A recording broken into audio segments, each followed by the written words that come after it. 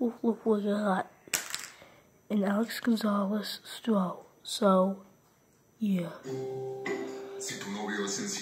What do we have now is the SmartKender uh, My Dancing Rudolph from 1999.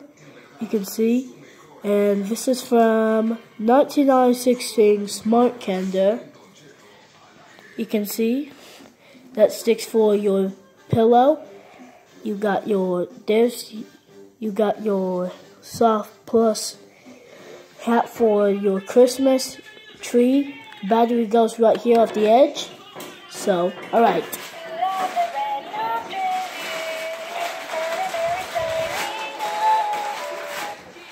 Yep, this is a slow battery.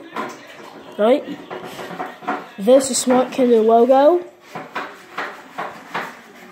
And if that if they they turn off, what's what's let's see they turn off.